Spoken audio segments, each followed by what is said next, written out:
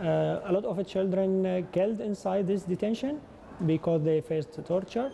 Some, many of them faced uh, sexual violation, like harassment, like, like raping, or they were also as a witness because they faced their family, their mother, their brother, their sister, their father, raping also from the guards. As we speak, children are being targeted indiscriminately and systematically. We're talking about 115,000 children that have been in, under siege.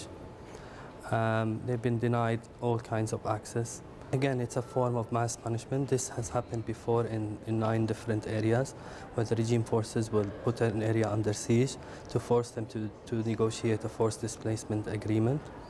And by targeting the civilians, they can add pressure on the armed groups that are in those areas. Eh, The children of Syria needs more than feelings. They need actions, immediate actions. Those responsible for these war crimes and crimes against humanity are being identified. The chain of evidence is being preserved.